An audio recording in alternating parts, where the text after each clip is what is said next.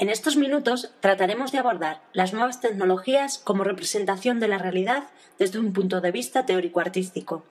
No obstante, añadiremos una relación con el término meditación. Para argumentar esta analogía partimos del concepto de Humberto Eco Obra abierta, anunciada con anterioridad por Walter Benjamin. La meditación, a su vez, se convierte en una herramienta para el ser humano de la misma manera que el ordenador.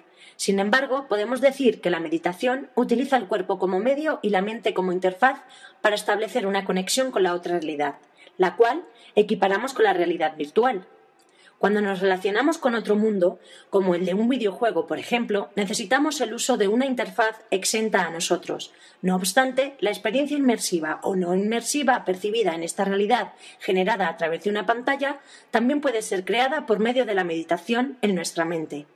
En el momento en el que esto sucede, es la propia mente la que se convierte en interfaz para ingresar en una realidad virtual ligada a nosotros. El filósofo italiano Umberto Eco señala de una manera explicativa que la obra abierta se encarga de definir los límites dentro de los cuales una obra puede plasmar la máxima ambigüedad y depender de la intervención activa del consumidor sin dejar por ello de ser obra. A partir del término ambigüedad, entendemos que la obra puede tener diferentes interpretaciones dentro de las multidisciplinas artísticas. Por esto, relacionamos meditación y realidad virtual, entendiendo que ésta se produce artificialmente como alternativa de la realidad que conocemos en alguno de sus aspectos o en su integridad. Como hemos introducido anteriormente, existen dos tipos de experimentalidad en la realidad virtual. La denominada inmersiva, en la que el sujeto se introduce en un mundo ilusorio en primera persona, y la no inmersiva, en la que el personaje percibe el mundo desde fuera, como si de una pantalla de cine se tratara. Creemos esencial abordar el mundo desde la conexión entre nosotros y los elementos que conforman el todo, real e ilusorio.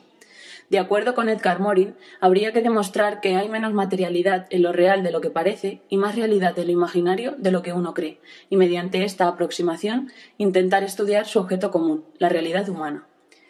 Si en el mundo real somos capaces de interactuar con un mundo virtual sin adentrarnos directamente en él y poner en funcionamiento solo dos sentidos, vista y oído, desde la meditación es posible interactuar en este mundo virtual pudiendo dar un paso más sensitivamente, ya que en ocasiones pueden llegar a intervenir hasta tres de nuestros sentidos, vista, oído y tacto. Actualmente se está investigando sobre la posibilidad de incorporar a la realidad virtual interfaces que hagan despertar los demás sentidos al espectador. Mark Weiser escribió que las tecnologías más poderosas son aquellas que desaparecen, se entretejen en el tejido de la vida cotidiana hasta que se vuelven indistinguibles a esta. Al hilo de este discurso y para finalizar, añadimos que la realidad virtual no es tan lejana al ser humano como se percibe.